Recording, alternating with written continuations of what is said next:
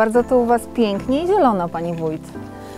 Jestem najszczęśliwszym wójtem na świecie. Mam najpiękniejszą gminę, jestem jej gospodarzem, cudownych mieszkańców, e, cudowne miejsca natury, e, cudowne miejsca rekreacyjne, zabytki, historie, e, mozaiki łąkowe. U nas właściwie nie można się nudzić. To na pewno, natomiast Wy, jest o Was bardzo głośno i Wy wychodzicie na europejskie salony. Co to jest za historia z e, tymi konkursami europejskimi?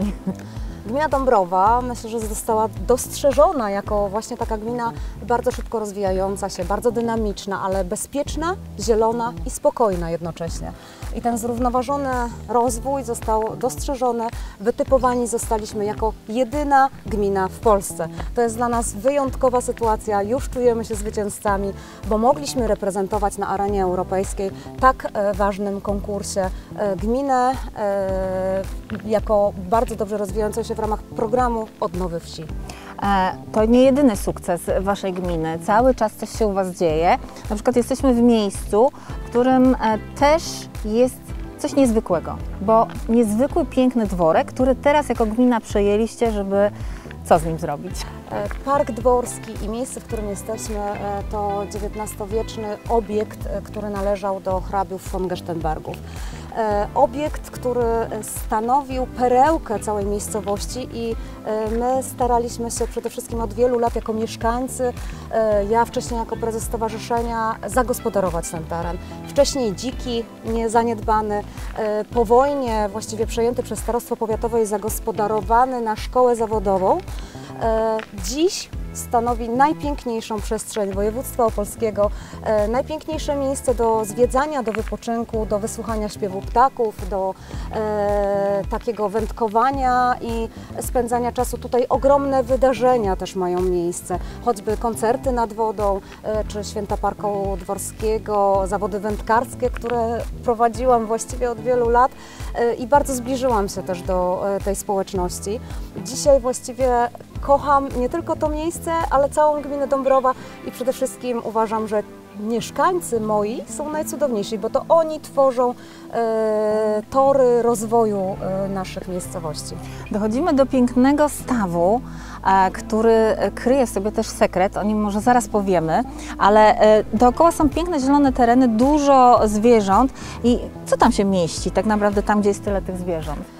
Cudowne miejsce, cudowny obraz, e, krajobraz i cudowni sąsiedzi. E, za płotem właściwie w granicy. My tu mamy asystenta pani wójt, o, czy to jest nasz król lew nawet, nawet kot czuje się tutaj dobrze i bezpiecznie.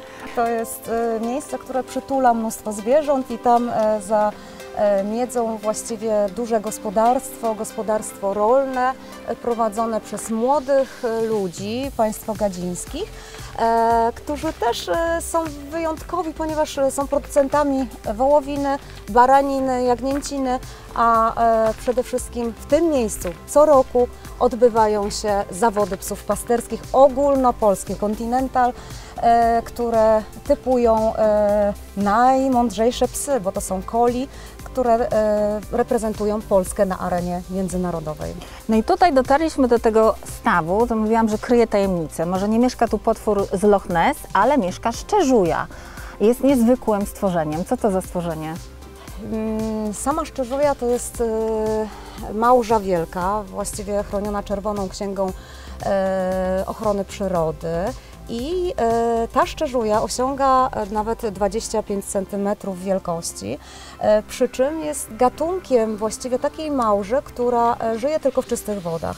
I to tylko świadczy o tym, że tu mamy czysty teren, że nie ma tutaj zanieczyszczeń i żyje w symbiozie z różanką. To jest bardzo wyjątkowe ponieważ e, obie, e, oba, e, oba zwierzątka muszą żyć ze sobą wspólnie. Tutaj kaczuszki też pływają, I akurat przepiękne. Tak, mamy też kaczuszki, różne gatunki ptaków. Właściwie mamy 38 zinwentaryzowanych ptaków chronionych w tym miejscu. Ale ta szczerzuja, wróćmy jeszcze do niej, bo ona jest naprawdę wyjątkowa. I można ją oglądać w Polskim Ogrodzie Zoologicznym. To jest też dzięki Pani.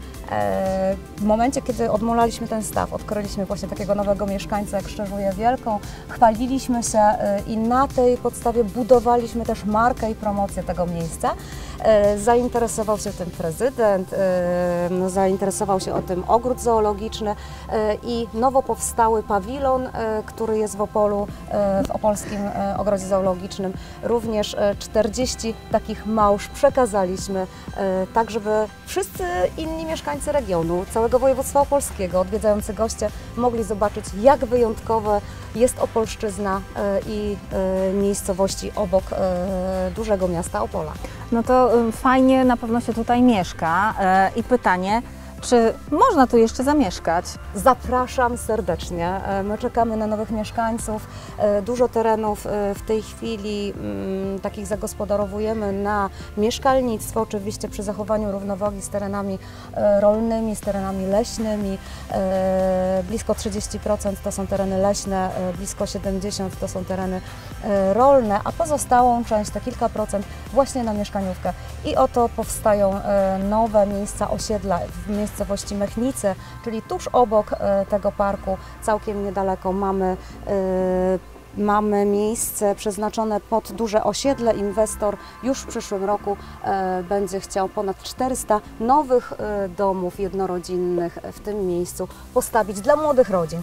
Zapraszamy serdecznie. Miejscowość Sokolniki również nowe, nowe domy e, powstaną niebawem.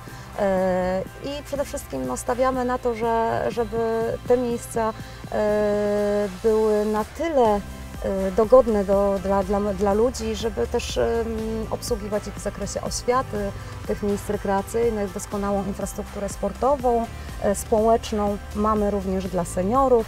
Naprawdę mamy się czym chwalić. Tu mieszka się pięknie, tu mieszka się przede wszystkim w zgodzie z naturą, spokojem. I, I przyszedł znowu do nas kot, który e, koty czują się dobrze tylko w naprawdę miejscach, w których jest dobra energia, a tutaj w Dąbrowie chyba jej nie brakuje.